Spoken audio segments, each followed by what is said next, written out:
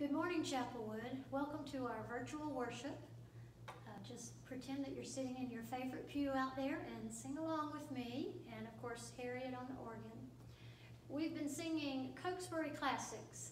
If you're not familiar with the Cokesbury hymnal, it's been around a long time. This is the 1938 edition, and that wasn't even the first one. Uh, so let's sing together Jesus Saves.